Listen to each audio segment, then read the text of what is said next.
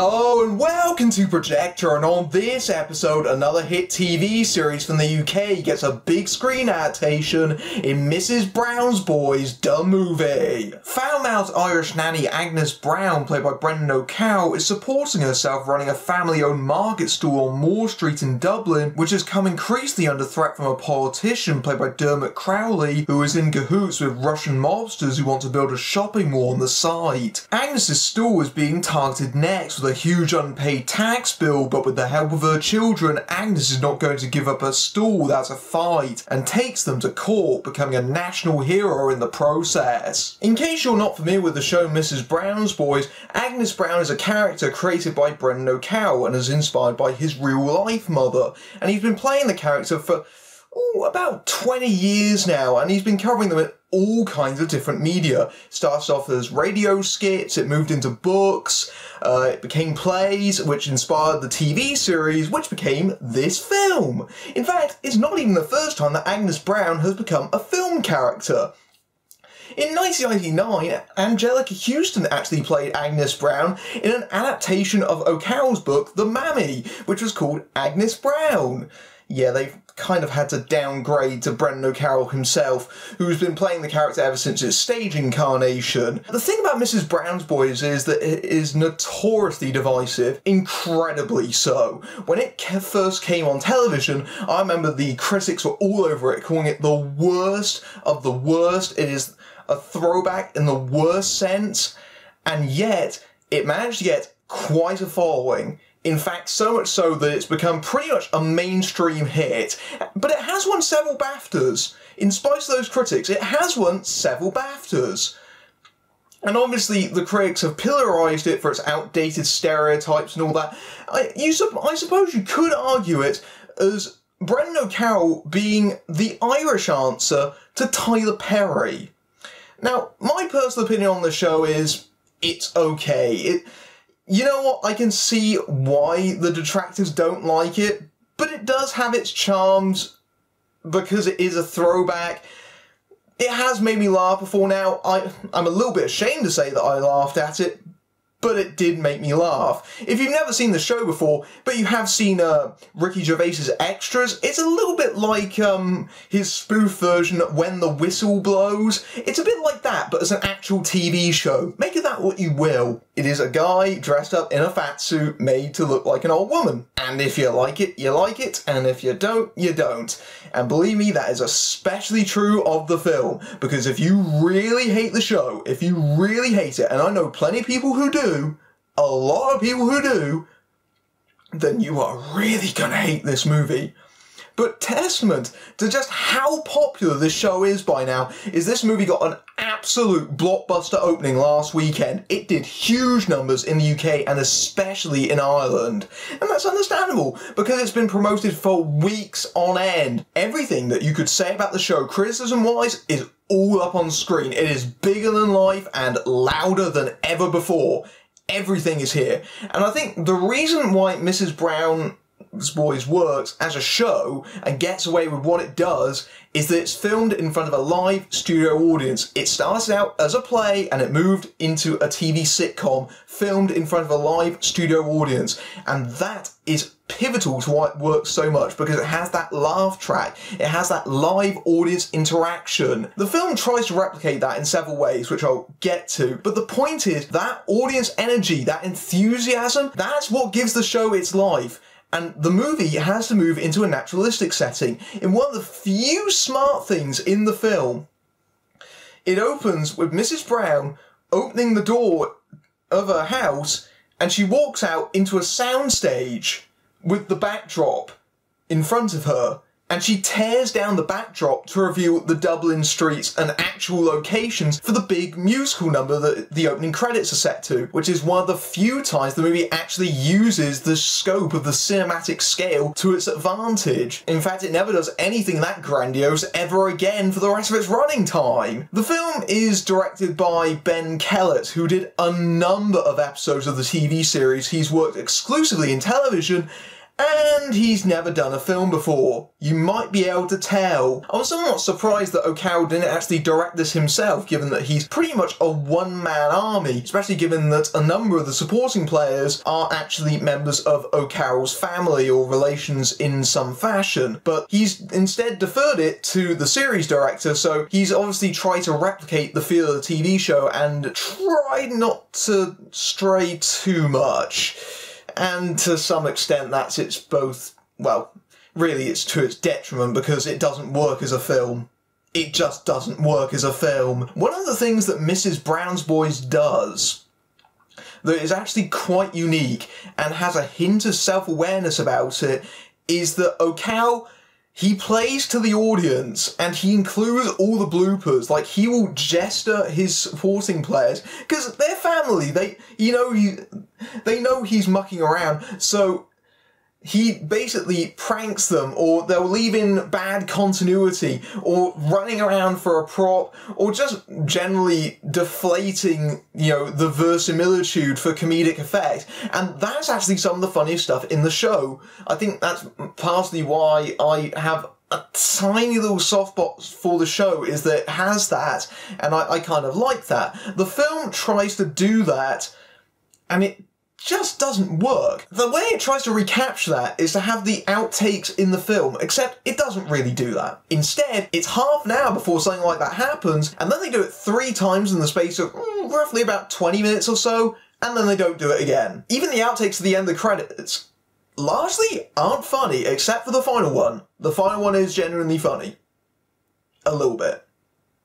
Can you see how I'm straying to say that I didn't laugh very much? The problems especially come down to the storyline they've chosen, in that it really is a half hour episode and not even a very good half hour episode. Who says, you know what we should do to replicate the spirit of a high energy, basically panto TV show? Oh yeah, let's make the plot about taxes and courtrooms. Honestly, guys, really? Really? Taxes and courtrooms? Could you think of a more boring setup? Speaking of boring, Mrs. Brown's Boys is notorious for very old gags, but in the film, they are so lethargic. There is no energy whatsoever. Nothing. The pacing is slack, it's all wrong. The performances are wrong, the editing's wrong, the direction is wrong. It doesn't even look very good as a film. It looks like a TV show still. Come on, you've got a film! Use it! It even like like that opening gag with the backdrop, it's the movie! Scale! There's actually more outrageous stunts in an average episode of Mrs. Brown's Boys than there is in the film version, where they're actually free to have a budget.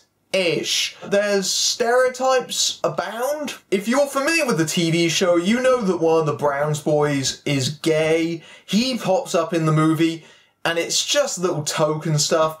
Like, he gets a little sequence where he plans to fundraise for Mrs. Brown by swimming across to the, swimming across between Ireland and the UK. But of course, he puts one he puts one toe in the water, and he's like, "Oh, it's so cold." Doesn't sound that bad until you realise the character is wearing a bright pink mankini and a multicoloured swimming cap yeah, he's that kind of very flamboyant gay character. It's not really mean spirited, which allows it to get away with very broad stereotyping like this, but even still. When you have O'Carroll come out as a second character called Mr. Wang, and you have him do some of the most offensive yellowface since Mickey Rooney in Breakfast at Tiffany's, there has to be a line drawn somewhere. Incidentally, when O'Carroll was promoting the uh, was promoting the film, he said that he has plans for two spin-offs, and Mr. Wang was one of them. Here's my response to that: No, no, no, no. I'm just saying, it's not a very good idea. I don't think that character can stretch to an entire film. Incidentally, I found it quite interesting how Mrs. Brown and uh, Mr. Wang never share the same screen together. Yeah. It's that kind of amateurish. it's really quite embarrassing. I mentioned that it's a half an hour plot, and the movie doesn't even try to hide that. The gags are basically filler material. There are parts of the movie where it tries to take itself seriously, where it indulges in some really gross sentimentality. And those don't work because you don't care about Mrs. Brown in the film's version, because Mrs. Brown is annoying, and she's not funny, and she's always laughing at her jokes when they're not funny and she's always telling people to feck off. And that doesn't count as a joke after the 17th time. In a testament to how much this movie thinks that swearing is funny, Mrs. Brown's defense barrister turns out to have Tourette's syndrome so that he can keep swearing and saying things like wank wank. The jokes are so weak. They are incredibly weak. It's not just that they're old, it's not just that they're so predictable that at one point you could literally time a bus to it. It's that they're just not funny. The whole thing is strained and laborious and it just feels so tired, especially on the big screen. And I don't mean to be mean because O'Carroll can be funny. I've seen him be funny. I've watched his television show. He can be funny. He's just not here. Shall we talk about some of the other gags that he fills his movie with that are just time wasting? Comedic setups go nowhere here. A lot of them are showcases for the supporting cast, a lot of whom are mostly pushed to the background, and I know they're family and nepotism and all that, but uh, they're not very good actors, and I think they're very much aware of that. And they've gone on in the promotion about how the movie represents, in a way, how Dublin and many other cities in the UK have become homogenized, that they've become that they've lost their sense of identity and that this market, it's important to keep it. And you know, maybe that might have been, you know, something they could have hung their movie on if it didn't feel so slapdash and it didn't feel like it was completely in the background the entire time. I'm not expecting it to be the world's end and make this point much more intelligently. I'm just expecting it to be funny. And that's the crucial thing here. None of this is funny. The bad guys in the film Russian mafia types, they're not funny. They're really overused as comedy, and they've never been funny. When is the last time you've seen any sort of Eastern European thug characters in a comedy be funny? And yet they're still trotted out. And of course, we had the politician, and we had that time on a joke where the politician has a position or a name that sounds like a swear word. In this case, they've come to a lot of effort so that his acronym spells prick. P-R-I-C. Yet, funnily enough, no one ever calls him that in the film. That is possibly the only time that Mrs. Brown's Boys has ever been subtle in its humour, in that it did not call a character that it blatantly had on screen being called a prick, being actually called a prick on camera. Incidentally, while I'm bringing this up, the main bad guy in the movie just flat out disappears 20 minutes from the end. He just disappears like we see him very briefly, and then he's never mentioned again. In fact, the whole ending of the movie, maybe the last half hour, is chase sequences. What blind ninjas? What diving into a river? Because what's going on here is that Mrs. Brown has asked her barrister to stall for her but what she's actually doing is asking for the movie to stall whilst they extend this to 90 minutes. In fact, there's not one, but two whole sequences back to back where people have to rush to the courtroom that Mrs. Brown is in. They literally do the climax twice. And whilst we're doing that, we get a speech about how important it is about social identity, which is only slightly less plausible than the one in Grace of Monaco only slightly less plausible, of course. And then it just stops. After all that, it doesn't even have a proper announcement. It just stops. Like, what? What's happening with the shopping mall development? What's going to happen with the fact that the guy running Dublin is completely corrupt? Why did we give Mrs. Brown's daughter a job in an advertising agency that is completely disregarded after the first scene it appears in? Nothing is wrapped up. And I don't mean that as sequel bait, as in nothing is wrapped up. It just feels like they got to 90 minutes and said, screw it. And even if you are absolutely the most die-hard fan of Mrs. Brown, I think you're really gonna have to struggle with this movie to find anything in it that's funny or rewarding. It's everything that Mrs. Brown's Boys does in half an hour, but worse. And yet, sadly, it did a huge number one at the box office.